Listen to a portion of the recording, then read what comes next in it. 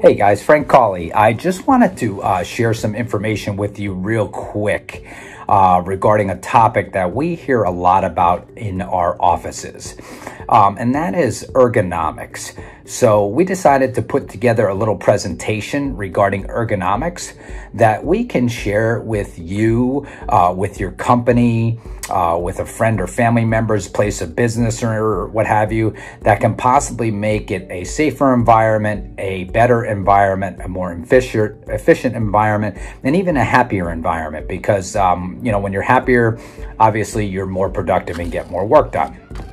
So, um, ergonomics. So, exactly what is ergonomics? So, ergonomics essentially is the science of work. Okay, it's about more or less fitting jobs and tasks to the employees so that they're safer, they're healthier, they're more comfortable and more productive in their workplace. And like I said, when you're safer, healthier, more productive, obviously productivity and output really, really increases. So, how does ergonomics more or less affect you as an individual or potentially affect your business? So, uh, there's a long term effect from ergonomics that most workplace injuries are caused by either falls or repetitive movements and bad postures.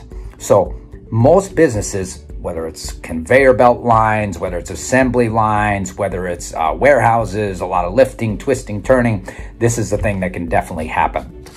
So, practicing good ergonomics can be a great preventative measure for avoiding issues such as headaches, uh, eye issues, neck and back pain, or shoulder issues, amongst other things. For people who stand a lot, foot and ankle pain uh, can be a very common thing. So, so there's a couple risk factors associated with this. So with ergonomics. So one of the big ones, one of the first ones that we see is awkward postures. So awkward postures obviously is when you're placing like excessive forces or pressures on joints and muscles and overloading the muscles in ways that you're going to stress them and the tendons and the, the joints that they attach to or go across. So we all have seen the people who might be sitting at their desk like this, or they have that head out like this, that forward head posture and that rounded shoulders. So these are obviously really, really bad things for people. The next thing are things such as like high force or high effort requirements. So an example of something like that would be somebody who works a job who their tasks require a lot of repetitive or heavy forces and loads that they have to lift. Um, somebody I think about, somebody stopped at my house the other day, was a UPS driver. So like UPS, FedEx, Amazon deliveries, warehouses, things like that. Um, when you have these repetitive forces on there, naturally it strains and stresses those tissues and can result in pain, aches, and fatigue. So one of the biggest things is we don't want to see someone bending over to pick something up like this, right? There's a proper way to keep your back straight and do the right thing when you're bending down to lift something so that you can maintain your posture and reduce that risk of pain or injury because when you have poor posture and increased workforce loads or uh, uh, force requirements, that's going to double your chances of injury. So third risk factor is kind of along those lines is the repetitiveness of these motions. So you got poor posture, you have heavy force loads, and then you have repetitions. So many workplaces tasks um, involve cycles and repetitive uh, and are repetitive in nature. So my mom for many years uh, was involved in uh, doing work as a receptionist. So she did tons and tons of typing. And lo and behold, just a couple years ago, she had bilateral carpal tunnel releases. So um, these are things that can happen. So when you have repetitive task repetition, um, and then combined with other risk factors that I mentioned before, such as those high forces and awkward postures, this can contribute to a lot of common workplace injuries, such as back pain, neck pain, knee related issues, shoulder, ankle, etc. Okay, so I, uh, what we could share with you as physical therapists and what we want to do and what I would like to do and our team here at Cawley Physical Therapy and Rehab is we want to figure out ways how to improve your ergonomics. So one of the first ones is we can cover things possibly such as something as you're sitting, your workstation. So is your workstation set up properly for you so that you can reduce the forces and the stresses on your body while you're sitting for six or eight hours at a time? So we like to talk about things such as the 90-90-90 rule, okay? So that your foot and ankle, your knee and your uh, shin and your uh, thigh bone and your hip and your back should all form L's, 90 degree angles. Okay, so we don't want to sit slouched and everything. We want to sit up nice and tall and make sure we have good posture and good positioning. All right. We want to make sure that our chair armrests are positioned correctly, that our keyboard is in the right spot and uh, a proper distance from us. Our screen should be located in just such a way so that we have a good positioning particularly arm's length away, as long as you have um, good vision, because if you have corrective lenses, that might adjust a little bit.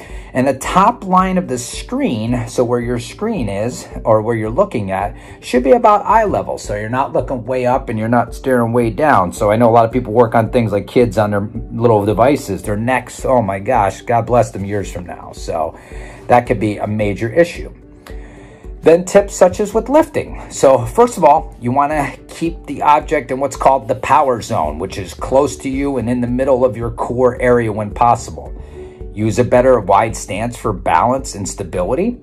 You always want to use your legs to lift and always what I call get happy feet. You want to pivot your feet and move them around instead of twisting. That's a bad thing when you're carrying a heavy load.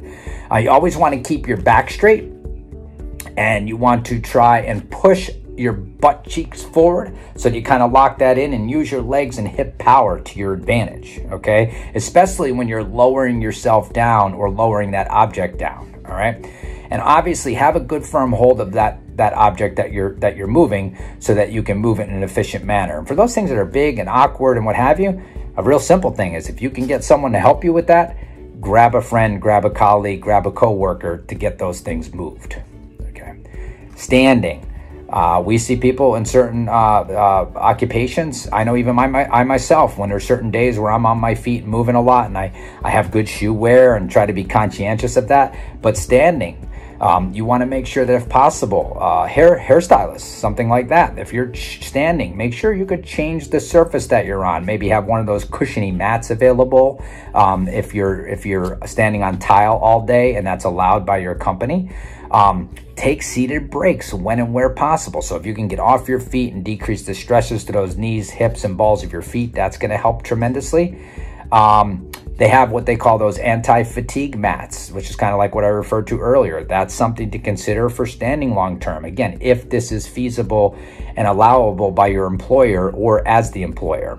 Uh, and remember, alternate postures, all right? I encourage people, uh, people who sit at a desk for a long time or people who stand for a long time or whatever position they do, please make sure that you're using a timer. Set the timer and use the timer widely. I know there's a lot of people now that have the fancy watches. I do have the Apple Watch and it tells me every once in a while, time to stand up. So uh, what do I do? I stand up um, because it's sometimes smarter than us because we get so engaged in what we're doing that this can lead to issues. So it gives us those reminders that we need. Um, there is certain equipment out there that is available for people uh, regarding their jobs and occupations. Now, we always want to try to look at a cost savings perspective, but really, if you have to purchase a piece of equipment that's going to help reduce the stresses and the aches and pains that someone might endure on a job day in and day out, let's face it, you spend about a third of your life doing what you're doing. So that's a, a third of your day anyway, maybe not your life, but a third of your day for many, many years of your life doing this. So if you need a piece of equipment that costs $250, that might be expensive, but it's a heck of a lot cheaper than if you need to uh, go for some sort of surgery or have treatment for ongoing weeks and months and, and God forbid years and not get this resolve uh, because you didn't have a, a cheap piece of equipment and spend $10,000 in care. So things such as like a special chair, an ergonomic design chair or desk, uh, a posture belt, a lifting belt, uh, things like that. That anti-fatigue mat that I talked about, certain shoe inserts or soles or shoe wear in general are better than others. So little things like that. And there's tons of other useful tips. I'm just sharing these few just for uh, simplicity's sake on this brief um, video. So one of the key things, guys, that I could tell everybody that's super important here, and this goes in general or without saying, is that get up and move.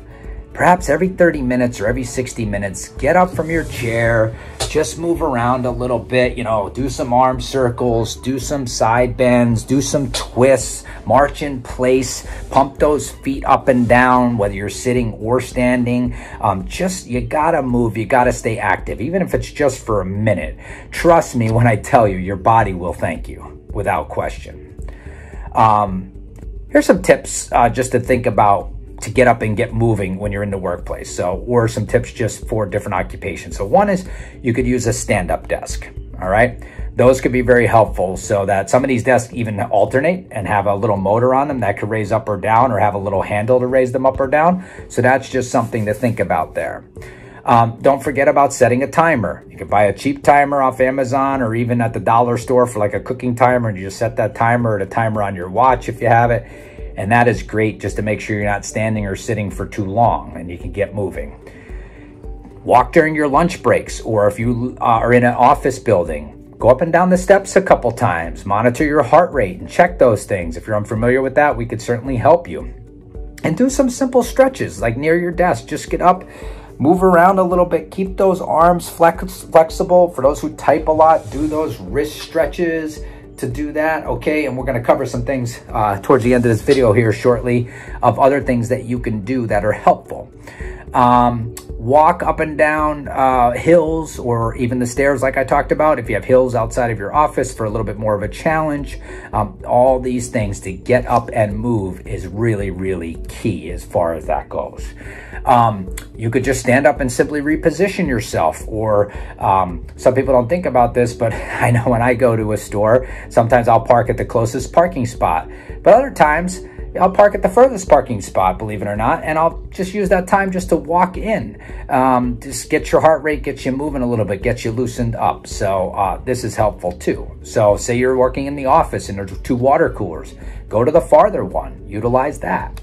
Uh, take a quick walk outside, get some fresh air. Sometimes the air inside is stagnant um, and just uh, uh, you get so tired and dreary. But if you get up and get your body moving and get those juices uh, kind of flowing in those joints and lubricated, it does you really well. And then a key thing a lot of us forget about is don't forget to hydrate. So this isn't coffee. I'm talking a lot. So this is water. So utilize water or anything non-caffeine related because it will help keep you hydrated and restore some of those vital nutrients into your body. So try to avoid sodas and, and highly caffeinated drinks if at all possible. All right.